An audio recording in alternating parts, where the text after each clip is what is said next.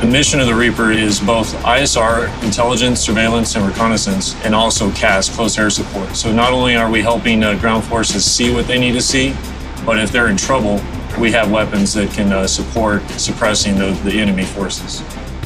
We are currently in the ground control station, what we consider the cockpit. So the pilot will sit on the left side, the sensor operator will sit on the right side, and they work together to execute the mission. The pilot obviously is controlling the aircraft and the movement of the aircraft, whereas the sensor is controlling the uh, sensor ball and actually moving that to, to look at different things, zoom in, zoom out. What we do is we actually utilize the different screens to have situational awareness of where we are, as well as knowing what our engine instruments are doing, and the sensor capabilities of the cameras are allowing us to look at at any given time. Our video feed is literally being watched by people all over the country and the world. There's people down on the ground really relying on you getting the best picture of whatever they need you to look at. The near real-time information that we're gathering is, is just incredible.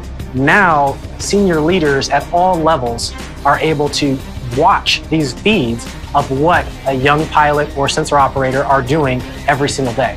We have the ability to stay airborne for 24 hour periods and tie all these different people into the scene and make uh, decisions very promptly. We're able to have more troops here at home, but at the same time having as much of an impact on getting the mission done overseas.